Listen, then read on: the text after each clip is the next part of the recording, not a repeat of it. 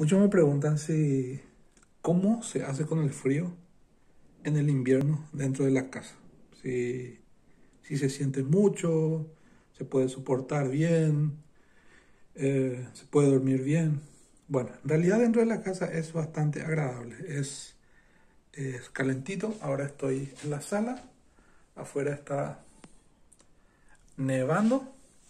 Y se puede tranquilamente estar eh, con un pullover, dependiendo, ¿verdad?, de cuánto eh, se calienta el, el ambiente, porque se puede calentar bastante, pero nosotros preferimos eh, que sea un poco más fresco, porque entonces la, el gasto de la calefacción reducimos bastante.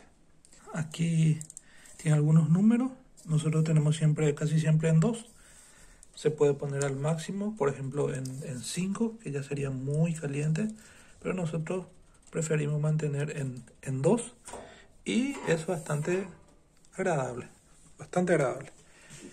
Este año está cayendo muchísima nieve, así se ve por la ventana. Vamos a abrir a mirar un poquito, que esto no caiga dentro de la pieza.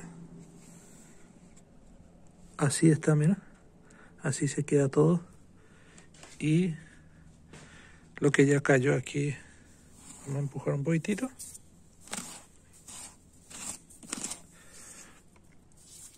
Así.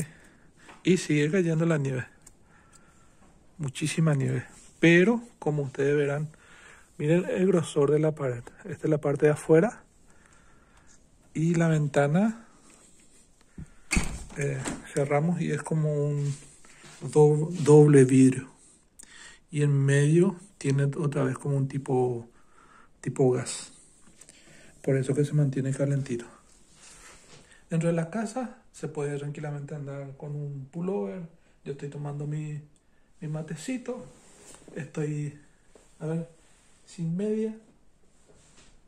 Tranquilito, sentado. No podemos ir a trabajar porque se congela todo. Nosotros trabajamos afuera. Pero ahora no se puede hacer nada porque está el techo está lleno de hielo, no se puede usar los materiales, no se puede trabajar. Entonces esta es la segunda semana ya que nos estamos quedando en casa y también disfrutamos de este tiempo. No se puede salir mucho, no se puede hacer mucho, pero estamos con la familia en la casa. Que tengan un buen día, un gran abrazo. Cualquier cosa me escriben ahí abajo en los comentarios.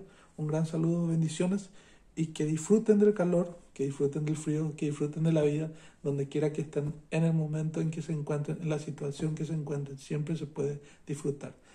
Ser feliz es cuestión de tomar una decisión. Yo decido ser feliz, no importa las circunstancias. Nos vemos, bendiciones, un gran abrazo, chao, chao.